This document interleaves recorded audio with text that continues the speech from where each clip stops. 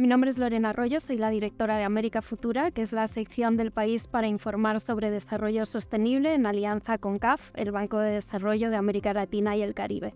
Y estamos aquí en la redacción del país, en la sede principal de Madrid, visitándolo con un grupo de editores económicos latinoamericanos. Si hablamos de integración de América Latina y Europa, tenemos que hablar del país América. Tenemos delegaciones en México, en Chile, en Colombia, en Argentina y tenemos corresponsales en toda la región. Y por supuesto desde esta nueva sección, América Futura, contamos soluciones principalmente al cambio climático, a los grandes retos e informamos sobre el desarrollo sostenible en América Latina. En esta semana tan importante, con CAP como protagonista, entre otras cosas, este viernes tenemos esa reunión de ministros de Economía y Finanzas de América Latina y Europa que se celebrará en Santiago de Compostela.